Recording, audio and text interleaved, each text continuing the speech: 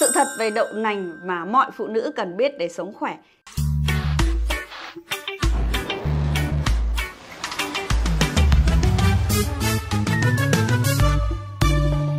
Nếu như bạn là phụ nữ, hãy uống một cốc mỗi ngày kể từ bây giờ bạn sẽ không bị u sơ tử cung, ung thư buồng trứng hoặc là ung thư vú. Trong những năm gần đây, tỷ lệ mắc ung thư, trong đó có ung thư buồng trứng ung thư tử cung ở phụ nữ ngày càng gia tăng. Ở Việt Nam thì tỷ lệ ung thư vú chiếm 25,8% trong tổng số bệnh ung thư ở nữ giới. Nhưng tin tốt là sữa đậu nành có thể giúp bạn ngăn chặn điều này.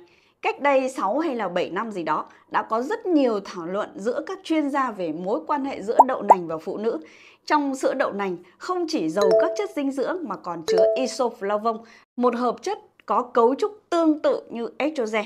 Vì vậy, isoflavone trong đậu nành được gọi là nội tiết tố nữ thực vật nên có những lo ngại rằng là đậu nành có thể làm gia tăng dư thừa nội tiết tố nữ. Tuy nhiên không có báo cáo về dữ liệu nào về mối liên hệ gây ra bệnh ung thư ở phụ nữ. Ngược lại thì nó lại mang nhiều lợi ích cho sức khỏe hơn. Vì vậy, hãy thưởng thức chúng nha. Isoflavone trong đậu nành á thì nó có tác dụng kép cùng một lúc theo hai chiều ngược nhau đó là bổ sung hormone nữ khi thiếu hụt và ức chế chúng khi bị dư thừa. Sau khi thời tiền mãn kinh thì phụ nữ thường là thiếu hormone, chúng sẽ được bổ sung hormone để làm giảm các triệu chứng của mãn kinh. Một điều mà bạn cần biết đó là hormone giới tính ngày càng giảm đi khi chúng ta già đi.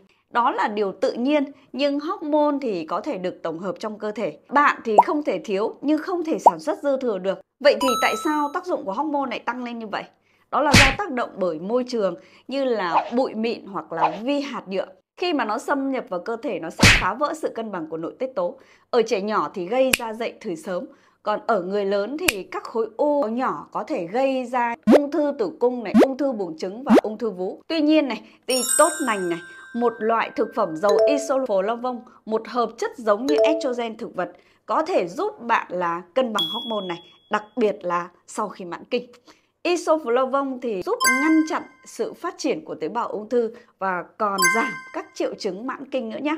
Nhờ vào cái giá trị dinh dưỡng và lợi ích đặc biệt này mà đậu nành thì được khuyên sử dụng trong các chế độ ăn uống hàng ngày đặc biệt là phụ nữ. Xưa kia thì tổ tiên của chúng ta rất thích thực phẩm mà từ đậu nành à, theo nhiều cách khác nhau ví dụ như là à, giã đỗ này, đậu phụ hoặc là tương đậu nành. Điều tuyệt vời hơn nữa là bạn hoàn toàn có thể làm sữa đậu nành ngay tại nhà. Cách làm vô cùng đơn giản phải không nào? Chỉ cần đậu nành và nước mà thôi. Có một điều Nhung Phạm cần lưu ý với các bạn khi ăn đậu sống này có thể chứa các thành phần là ngăn chặn sự phân hủy protein nên có thể gây ra tình trạng là tiêu chảy. Vì vậy, bạn phải nấu chúng ít nhất là 10 phút để phân hủy hơn 80%.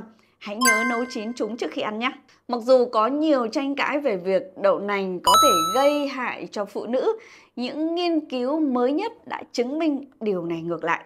Đậu nành giúp giảm nguy cơ ung thư và nghiên cứu khoa học đã khẳng định điều này. Tuy nhiên thì các bạn hãy nhớ sử dụng đậu nành nguyên chất và tránh xa những cái sản phẩm như là thêm đường và phụ gia không cần thiết nhé. Vậy nên hãy bắt đầu một ly sữa đậu lành mỗi ngày để bảo vệ sức khỏe của bạn nhé. Đừng quên bấm like và đăng ký kênh để nhận thêm nhiều thông tin hữu ích khác nhé.